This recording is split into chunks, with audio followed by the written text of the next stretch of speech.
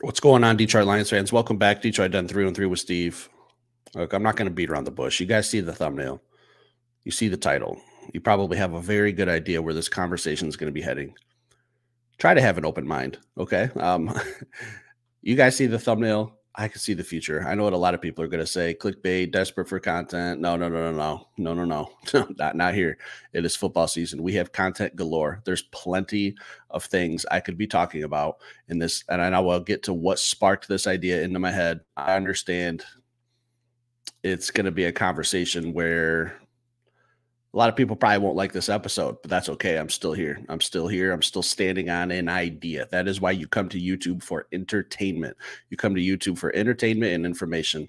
You guys can decide which one this will be. But first and foremost, I want to say that um Tua Tagovailoa, man, uh, it, it's getting tough to watch these concussions every year. Um, it, I don't cheer for injuries. I, I, never have. I never will. The Miami Dolphins don't affect me in, in any way. They're not in my conference, my division, but I'm just a, a diehard football fan. And I love watching exciting teams. And the Miami Dolphins are an exciting team to watch. And um, that involves watching a lot of games and seeing Tua go through these concussions. I remember a couple years ago, you guys are probably very, very familiar with what happened to him in Cincinnati, where he literally looked like he was he was he was like I'm not joking. He looked like he was dead. Okay, um, it, it was a scary sight. He came back uh, later in the year, but th- these concussions are getting to be a problem. So I am not in a position to tell Tua uh, how to handle the rest of his career or or what to do going forward. Um, Tua's got to do what's best for Tua. Uh, and end of story. Um, whatever that decision may be, if he wants to keep playing football, if the doctors say that that's a good thing to do, and I hope he takes that into consideration um, whatever his family's telling him. I hope, I, I, at the very least, I hope and I pray that he's at least weighing his options. Okay. Um, I understand this guy's set for life financially. If he decides he doesn't need football, that's up to him. If he wants to keep playing, that's his choice too. But I hope that maybe he takes a look at some some options to protect himself, like these uh these protective caps. Maybe I don't know. There's there's there's options out there for Tua, and I hope that he chooses the right one. But let's get into some business talk now because when I woke up this morning, I checked Twitter, and the first thing I saw was a clip from Dan Orlovsky. And Dan Orlovsky saying the saying the same thing I did, man. Excuse me. He's saying the same thing I did about Tua's choices and, and all that. And I'm not going to go into his spiel. It's about a one minute uh, clip on, on Twitter if you guys want to check it out. And um, Dan mentioned the same thing that I was thinking. He, he, he was talking about how the Miami Dolphins are in a tough spot and if they should reach out to another team and inquire about a trade. Um, the teams that he mentioned were the Kansas City Chiefs for Carson Wentz and the Jacksonville Jaguars for Mac Jones. I'm not sure either one of those options makes makes the Miami Dolphins any better than than Skylar Thompson. And and I was watching Skylar Thompson last night.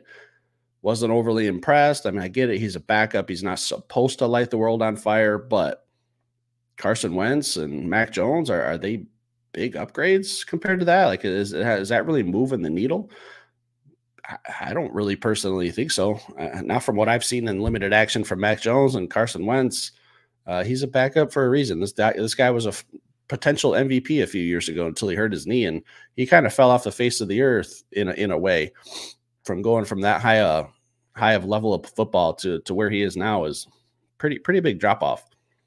So when he said that, that's where I got the idea that's where this whole episode comes from. So if you guys are going to call me clickbait and desperate for attention or whatever you guys want to say, make sure you go to Dan Orlovsky's page and say the same thing. Just because he has a bigger platform doesn't mean he has the best ideas. So I got to thinking, why wouldn't you call the Detroit Lions, who have a young, mobile quarterback, cannon of an arm, um, a phenomenal athlete? And I'm not talking Jared Goff, I'm talking Hendon Hooker. Now, if I'm the Detroit Lions, I am not reaching out to Miami. I am not going to offer him up on a platter. What I am going to do is, if I'm Brad Holmes, I'm going to make you call me. I'm going to make you put yourself out there. I'm not going to offer up Hendon Hooker and, and just uh, try to get a deal done.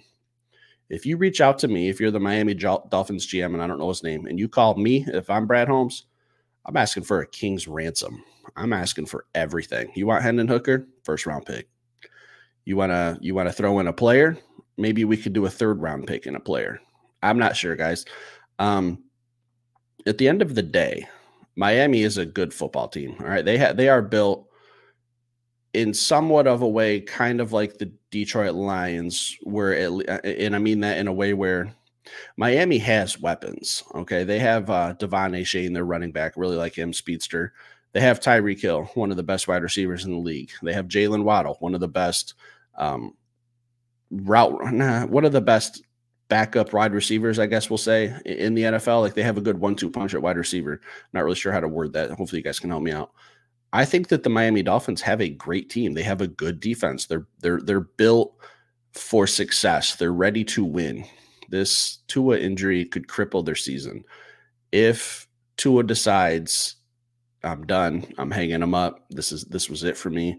Uh, maybe he had a conversation with his family before, and he said, "Hey, if I get one more concussion, that's it. I'm done on the spot." I, I don't know. I'm just speculating here. This is all um, hypothetical. This this isn't. There's no facts behind this, but I have to imagine that these conversations probably have happened with his family. Um, again, I'm not offering up Hendon Hooker. I'm not Brad Holmes. I'm not calling Miami and saying, "Hey, this is this is an offer, Hendon Hooker for for whatever." Make Miami call us. All right. Now, now, now let's ask yourself this. Is Hendon Hooker better than Carson Wentz and Mac Jones? I think so. Rookie contract, younger. Um, actually might not be younger than Mac Jones. I'd have to look that up. I don't know. But I, I do think he's better than Mac Jones. I look at Hendon and I, I see him on the Miami Dolphins team that's got a lot of speed with those guys that I just mentioned Waddle, Tyreek Hill, and De'Von Achane. You throw in Hendon Hooker, who's mobile, can extend plays, can run. I think he'd be a good fit with Miami. Now, I do not want to see Hendon Hooker leave Detroit. I am not asking for him to get out of town. I'm not uh, hating on Hendon Hooker. I've actually grown quite fond of Hendon Hooker this offseason. Okay. Um, he, he's proved to me that he can play in the NFL. And I said I wanted to see his game translate from college to the pros, and it, and it has. And I need to see a little bit more. And I'm not ready for him to be my starter, but my opinion about Hendon Hooker is he's a very, very solid backup. So I understand that the Detroit Lions want that contingency plan just in case something happens to Jared Goff. Um, and I don't want to be in the same boat as Miami where I'm having to make calls. I don't need to. If, if something happens to Jared Goff, I can plug Hendon Hooker in there. Again, guys, this is all speculation. This is all hypothetical. This is all based on a lot of conversations, on a lot of information that only a handful of people in the world have, and they probably live in Florida, and their last name is probably Tagovailoa. Okay. I don't know. It's speculation. Again, I just saw this clip from Dan Orlovsky. It got my wheels spinning. Um, I know what the comments are going to say, guys. I'm ready for it. Have a little fun on YouTube is my final request. All right. Leave some comments down below. Hit that like button. Stick around. Subscribe. Oh, and and one last thing. I texted Will and asked him if I should even do this. And he said, Why wouldn't you? So I have Will's backing on this one. Appreciate the appreciate the love, my man. Enjoy that day at work. Hit that like button, guys. I'll be back later with another show.